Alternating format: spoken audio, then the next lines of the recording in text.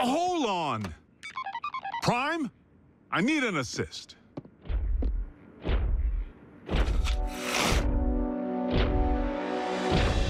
Agent Fowler, have you uncovered mech agents? No, they're okay. General Bryce here just needs to confirm the state of your health and welfare. I am fine, General Bryce.